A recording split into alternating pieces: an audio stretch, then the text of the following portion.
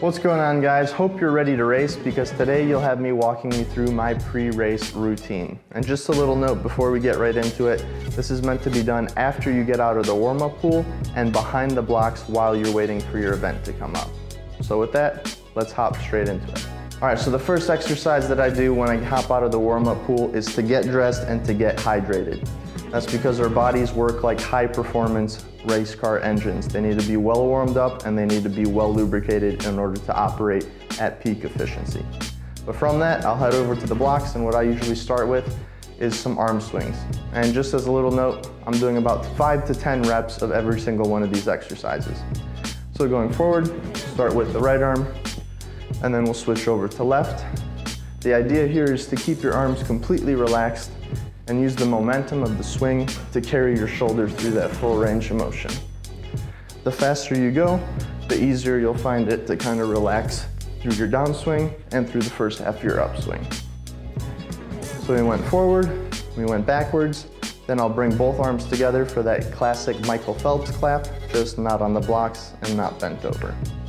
We'll do a little bit of a voiceover here. Uh, one thing you want to keep aware though is try to touch your fingers behind your back if you're more flexible, try to bring your hands even higher behind your back.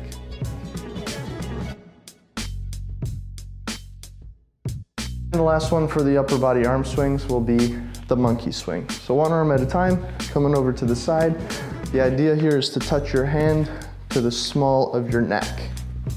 And go ahead and see from a behind view. Same idea here.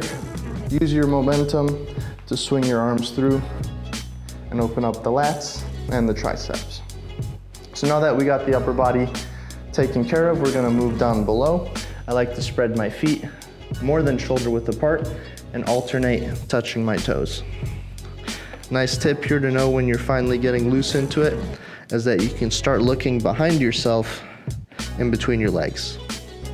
You can also bring one hand in front, give it a bit of a forward lean, open up different angles of the hips.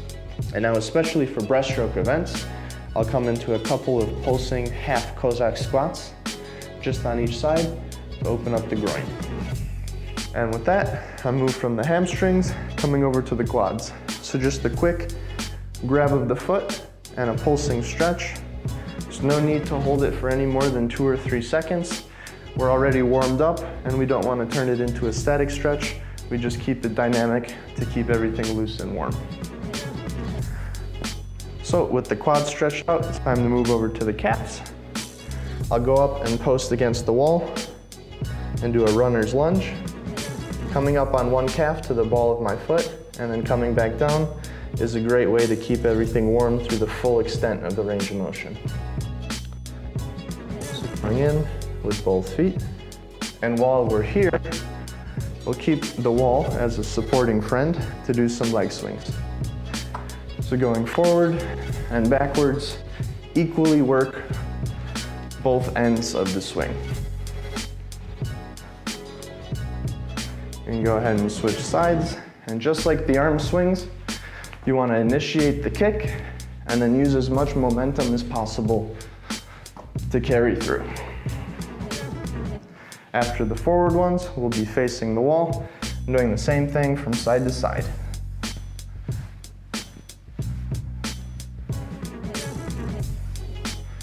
These are one of my favorite kind of warm up, stay loose exercises because it really lets you know what condition your muscles are in.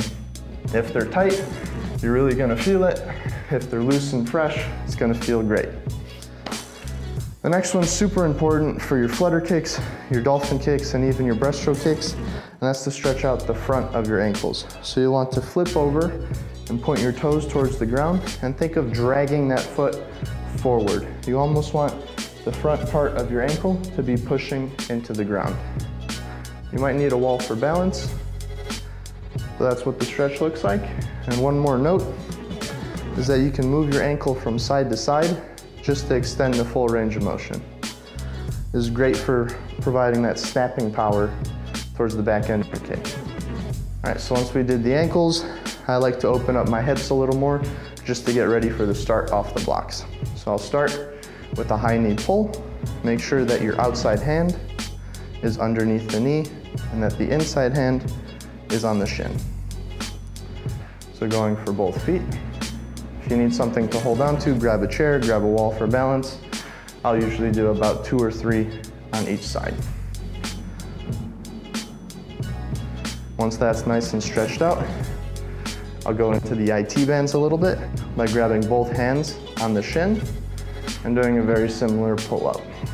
Also important here is to not pull too hard with the arms.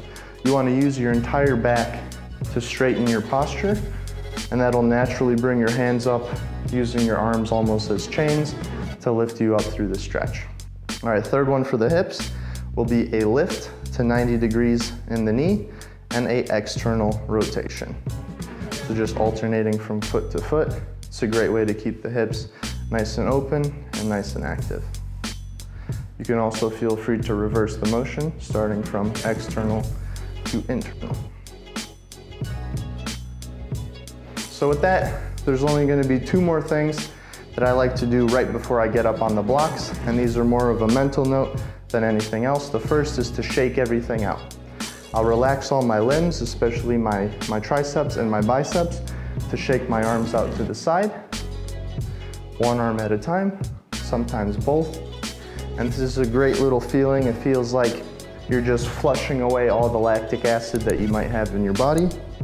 And after doing the arms, it'll be the same thing with the legs. You can pin one foot and kind of shake it, torque your knee from side to side, let all of your quad and your hamstring muscles and your calf muscles relax, and you do the same thing from both legs. So once I'm all completely shaken out and it feels like the lactic acid is flushed away, I'll do the very last thing, which is just my little routine, is to do three hops with completely relaxed shoulders. The idea here is to let your shoulders just sink to the full extent before every single next jump.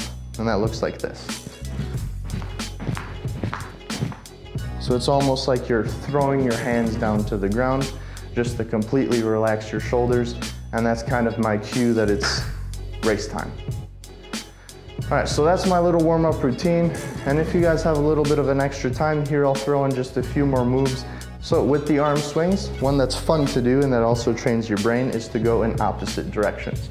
So I like to start out arms overhead and begin swimming. The key with this one is to throw in some upper body rotation. You could use, I'm using my torso to kind of initiate it, and that takes your mind off of what direction your arms have to swing. The other one, especially for butterfly and breaststroke events, would be the double arm swing. You're probably familiar with this, just two arms at a time, just like we started out with. And you can also complement it with some backward swings. Also, if we're you know, feeling kind of hopped up before the 50 yard freestyle, a real sprint event, and we want to get our turnover warmed up as well, I like to practice that as well. Doing a freestyle stroke swing, or even a backstroke style swing. Really important during that one is to keep the hips engaged and the trunk rotating. Good warm up for the core as well. And then, very last but not least, would be my tiptoe squat. So you just kind of squat down, you come on your toes so you're nice and comfortable, and you just lean from side to side. Sometimes I like to put my hands on the ground and pin my elbows against the knees just to press them and torque them out. It's great for opening up the hips, stretching out your quads over here on top, and just making sure that your legs are ready to go so that you can have a very strong starting position on the blocks. So hope you guys found some use from that. Hopefully you can mix and match whatever exercises you liked and construct your very own pre-race routine. Hope that was helpful. And if it was, even if it wasn't, go throw a thumbs up on the video. And uh, you'd have me more than thankful for the subscriptions and any sharing with your coaches, other swimmers, you name it. So, see you guys in the next one.